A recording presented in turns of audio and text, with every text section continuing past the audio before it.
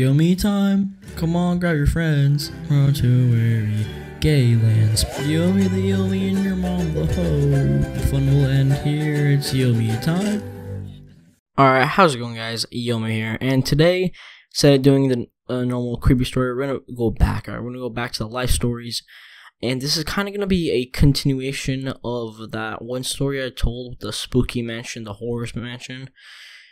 And basically, this fucking the owner. I'm gonna talk about the owner and talk about how she was like absolutely insane, or she was just on that that good stuff. But anyways, let's get right into it. All right, so the owner, first of all, we thought automatically was just crazy because you know she was selling this mansion for really cheap, and uh, you know we took it because you know it's a mansion, so yeah, we took it, and um, she, she she was just weird. All right, like she had like two kids, and I used to play with them a lot. Also, like really weird. And the sense of like, what the fuck? Like uh, you like a fucking you look fucking scary.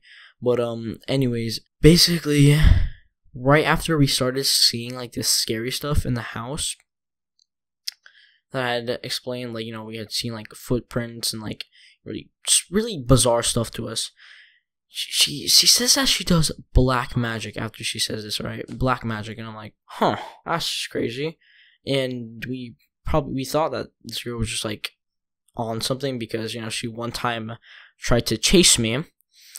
Uh, yeah, she literally tried to chase me, and she was screaming random fucking shit. I don't know, maybe it's her black magic, but she was screaming it, and all of and like screaming at me and chasing me around the house. I was like, "Yeah, fuck you, get away from me!" I was just running for my life. And at the time when I was a kid, I thought she was like a demonic fucking lady bitch. But um, but it doesn't end there, right, guys? This person was very like, very. I don't like using this word, but a gold digger, alright? And she did this thing where she would find someone who has a lot of money, and we're talking lots of money, and yeah, would basically scam them. would basically try to make them fall in love, and they would just like instantly hit it off, and then she would just either dupe the guy or just like force the guy to give her money and it, got, it was kind of scummy.